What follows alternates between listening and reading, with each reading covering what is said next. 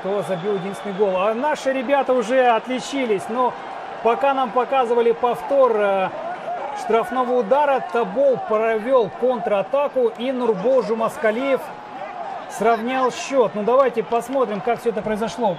А мяч вынес э, Морев из ворот. Здесь борьба верховая. Жумаскалиев мяч подхватил и с левой ноги пробил в ближний угол.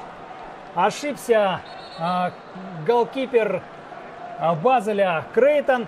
Неверно занял он позицию в воротах. И Нурбол Жумаскалиев, капитан Табола и сборной Казахстана, сравнивает счет 1-1.